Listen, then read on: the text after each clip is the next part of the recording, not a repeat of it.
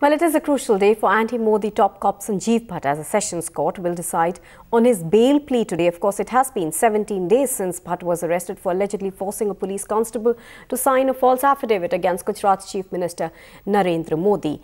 Joining me on the phone line for more is Abhishek. Abhishek, uh, it is a crucial day for him, of course. It's already been 17 days and his bail plea has been deferred time and again. How do you uh, see uh, the day panning out for him today?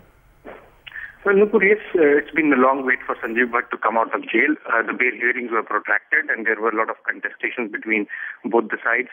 Uh, state arguing that uh, Sanjiv Bhatt has committed a crime and he is an influential man in the sense that he is a former uh, suspended IPS officer and he still can influence the complainant who is his former junior and to that extent he should not be granted bail. Also, uh, the order on revision remand petition is also pending for the state. So, according to them, uh, Bhatt should not be granted bail so long as the remand petition order is not there. And uh, side maintaining that it's a witch hunt, it's a frame up because Sanjiv Bhatt has been single-handedly taking in the Narendra Modi government, specifically targeting the chief minister for his involvement in the Godhra riots as also in a latest affidavit that was filed uh, in August, uh, uh, in implicating the Chief Minister and his former aide Amit Shah in the Haren Pandya murder as well.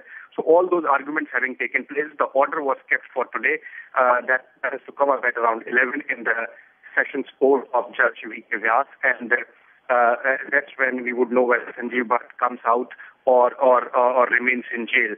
So that is expected just about an hour and a half from now, Nupur.